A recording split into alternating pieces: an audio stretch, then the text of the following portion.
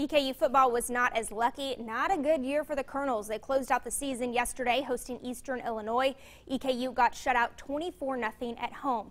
Maty Mauk, EKU's big-time transfer QB from Mizzou, only played in two games due to a shoulder injury and a concussion that kept him on the sidelines. Head coach Mark Elder said the school is looking into getting the senior a sixth year of eligibility. EKU finishes 3 and 8 on the season, 1 and 5 in OVC play in Mark Elder's first year as head coach. Now this is down from being 6 and 5, 5 and 3 in league play last year under Dean Hood.